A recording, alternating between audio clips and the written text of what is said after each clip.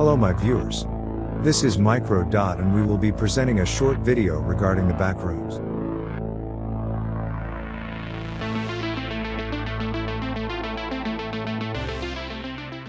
The backrooms are a spatial anomaly outside of standard reality. Time does not function in the same manner inside the backrooms and along with this there are dangerous entities lurking in the shadow. These areas are hard to come by, as we've never had any real evidence of its existence. Ones who attempt to test their fate have come by these places. Think of it as an area between worlds. Just the same way you could glitch out in Minecraft. The same principle applies. Well, sort of, these backrooms range in levels. Just like in a game, you start up on level 0. Many believe these levels go as high as 999. It's an area full of mazes. Footage comes from quote unquote level 232 from the creator named Ruster. This discovered footage shows the great size of what these places can come to. Once you enter, you feel a negative impact of darkness. It is said that many of these places are never ending halls, walls closing inwards, towards you. In fact, you stay too long and the walls might swallow you. Be careful and try not to no clip out of reality. You'll end up in the back rooms, the endless background noise of fluorescent lights at maximum hum buzz and approximately 600 million square miles of randomly segmented empty rooms to be trapped in. God save you if you hear something wandering around nearby because it sure as fuck heard you. Reddit user r slash deleted claims this I don't think most of the people who have experienced the backrooms is that the backrooms are alive. That's why there's no real measurement of how big slash long any of the rooms are. The rooms, the levels are all growing. They're all fucking growing. I've spent about the past 12 years of my life milling the backrooms. You will find that the majority of it is an illusion. Yes, it is vast, but it is not that vast. Most of it is a loop created by your imagination, your fears, everything the backrooms feeds on. The backrooms, or what I like to refer to as the eighth continent, is very much a living thing. Most of the things you see in the backroom, however, are not. During my time there I did not experience anything that was living. And, unlike other users, I was never spoken to.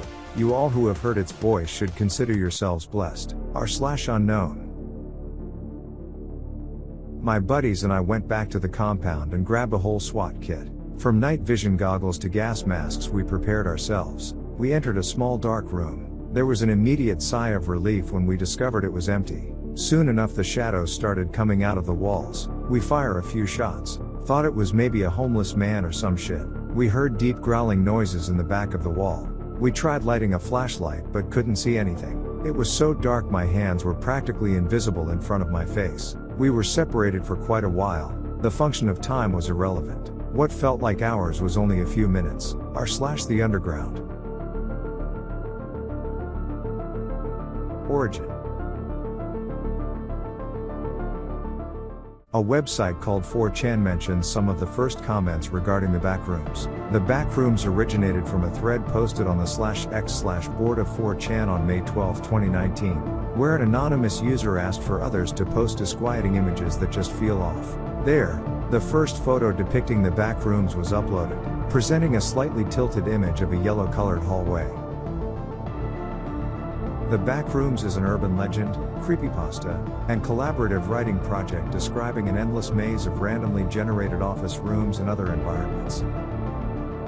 Over time, the popularity of this topic has been rising, furthermore, gaining the audience it deserves for those tempting enough to find it. There have been reports of a conduit, a path that can be accessed to enter the backrooms. This follows through the gates of hell as reported by an anonymous user. 230 North High Street, Columbus, Ohio. The details are not exact since the respondent wishes to keep it a secret, afraid to have anyone else get stuck or hurt. This is just one of many thousands of examples where the backrooms can be located. There are portals all over the world. This was a lucky find since he lived nearby. Upon further review, it's been reveled that certain haunting or mystic energies can manipulate the atoms around us, increasing the chance of discovery for glitches, aka finding access to a backroom. These are mini realities created within billions of particles. Nothing too big can be too small. These pockets are out of our realm but remain within reach. It is unknown whether or not we'll find them anytime soon. And if they are found, they'd be kept hidden. Classified information for only those in the loop. We've reached the end of this short video. If you're interested in more, hit the like button and comment. We break down varieties of topics ranging from creepy to haunted. This is Micro Dot, and we out gangstas. More coming soon so stay tuned and be safe.